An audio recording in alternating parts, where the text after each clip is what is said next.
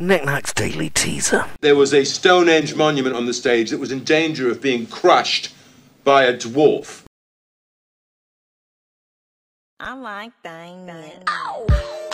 Q1, 27th February, 1900, saw the founding of the British Labour Party, who's the current party leader. DJs, let's slide like this. Five, Q2, 27th February, 2007, saw which stock market drop by 9%?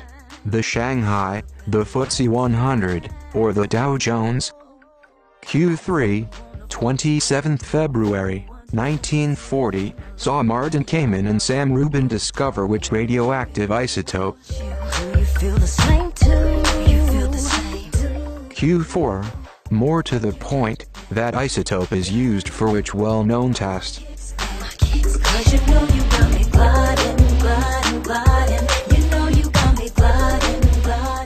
Q5, 27th February, 1973, saw members of the American Indian movement occupy which small town?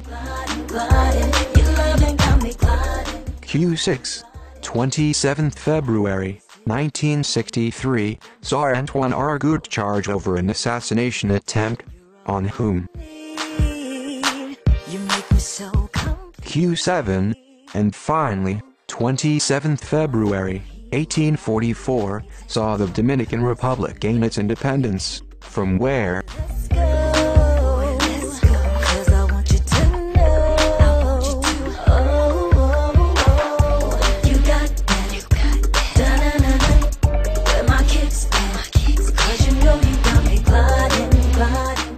Questions said by Paul NikNak Downie and released under the Creative Commons Attribution, Share Alike 2.0 license.